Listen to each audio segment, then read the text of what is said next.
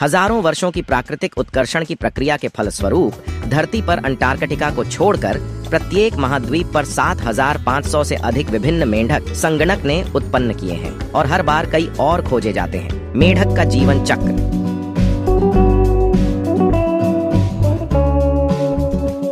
Goliath मेढक कोनरुआ Goliath पृथ्वी पर पाए जाने वाले मेढक प्रजातियों में सबसे बड़ा है। पॉइजन डार्ट मेढक, दुनिया के सबसे जहरीले मेढकों में से एक है। मेढक अपनी पेट को बाहर निकाल के कुछ नास्तिक चीज़ें या कुछ विषाक्त पदार्थों को छोड़ सकते हैं।